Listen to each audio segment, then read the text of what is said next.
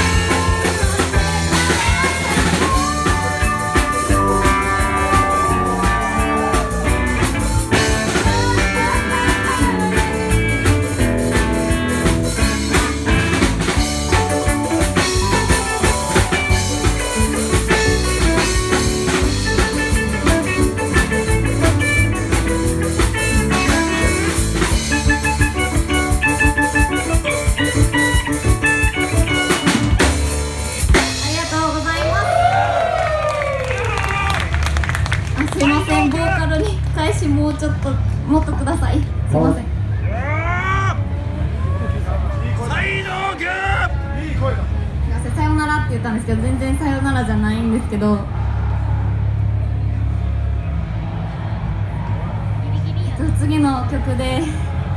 最後になるんですけど、えー、ありがとうございますで次の曲が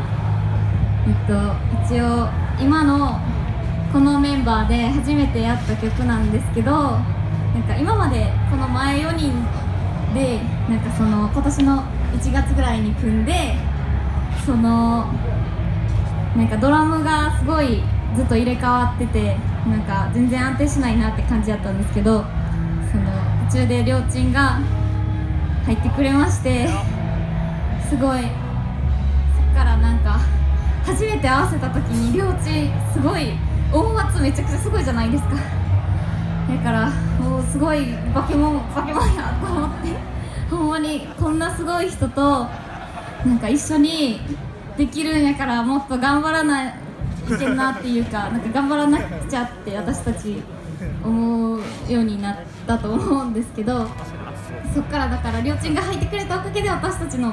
すごい意識とか上がってこの曲をやってすごい「テンクル変わったね」とか「成長したね」って言ってもらえてすごい嬉しかったなって思っててすごい私はこの子たちのなんか努力とかすごい知ってるからなんか田畑とかギターの田畑とかベースのコッコちゃんとか初心者やのにめっちゃ上手くなってもうすごい頑張ってもうなんかすごいこの子たちのこと私は誇りに思ってるし一緒にバンドできてすごい嬉しいと思ってますいつも感謝してますすごい。はい、まあ、そんな感じでまあ君の知らない物語やります。